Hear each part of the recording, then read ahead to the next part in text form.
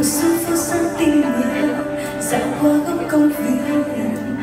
Có bao điều Ngày ngày trở về bên đất nước Một giờ tâm dưỡng sinh Sao trong tâm ta thanh bình yên Một Hà Nội rất thân quen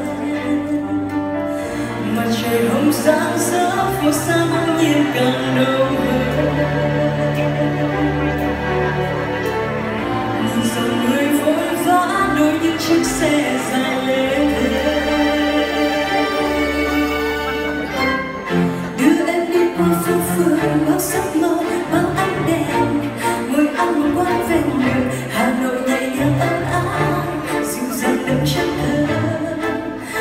bay xa, một cảm giác lòng chim nhớ.